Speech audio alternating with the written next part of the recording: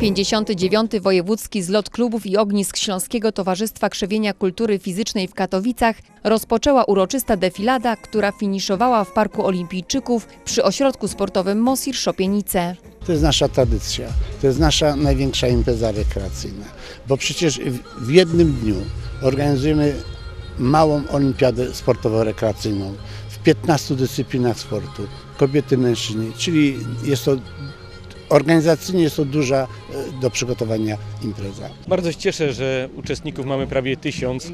To naprawdę pokazuje, jaki potencjał jest e, w Towarzystwie Krzewienia Kultury Fizycznej. To przeolbrzymie zaangażowanie, pasja do sportu i trzeba powiedzieć wprost, najwłaściwszy sposób spędzania wolnego czasu. A dzisiaj do tego zdrowa, w duchu fair play, rywalizacja sportowa. Rywalizujemy w różnych konkurencjach dyscyplinach sportu. Nasze towarzystwo, bo naszymi celami to są dwa główne cele. Pierwszy to jest organizowanie stałych zespołów ćwiczebnych dla osób, które chcą dla swojego zdrowia, przyjemności, dla sportowego trybu życia spędzić swój czas.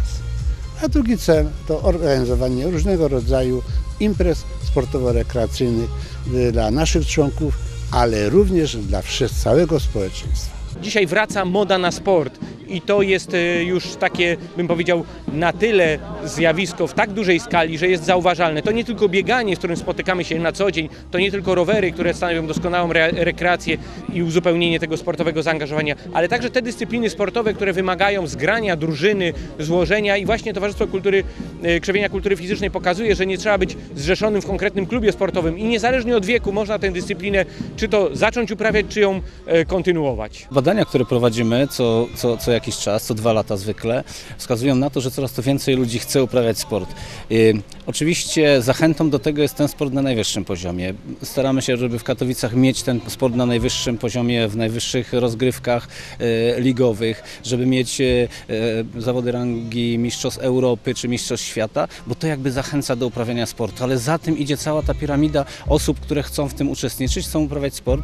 No i myślę, że świadomość ludzi jest y, coraz to większa w tym zakresie, że y, wiedzą, że robią to dla zdrowia, chociaż tu ciekawostka, w badaniach wyszło, że pierwszym czynnikiem, który powoduje, że ludzie uprawiają sport rekreacyjnie, tak zupełnie dla siebie, to jest dobra zabawa, czyli dla przyjemności, nie dla zdrowia. Nam się wydawało, że rzeczywiście to zdrowie będzie takim, taką motywacją, że no nie bardzo chcę, ale muszę, bo dla zdrowia, a tu robią to dla przyjemności. I cieszę, że takie zawody jak dzisiejsze to jest właśnie potwierdzenie tego, jak wiele osób uprawia i to nie tylko bieganie, które jest teraz bardzo popularne, ale tyle różnych dyscyplin sportu w takiej rekreacyjnej, zupełnie zabawowej formie.